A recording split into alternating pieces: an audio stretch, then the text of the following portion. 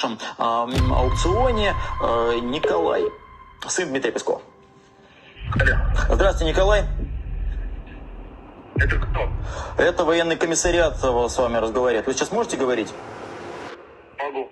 Добрый день. Да, давайте не будем швырять трубки, как это вы делали в прошлый раз. Значит, Николай, А вы вопрос. пока, а зачем вы мне звоните, еще мне говорите, подождите. Потому что, господин Николай Песков, я могу с вами так разговаривать. Значит, я почему вам звоню? Вам сегодня была отправлена а, повестка, а, в том числе и госуслуги, и, через, и на, на бумаге она к вам приходила, и вы а, пока еще не отозвались. А там был указан номер, по которому вы должны перезвонить и завтра в 10 утра явиться в военный комиссариат. Во-первых, а, почему вы не перезвонили? Во-вторых, придете ли вы завтра в военный комиссариат? В 10 утра мы вас ждем.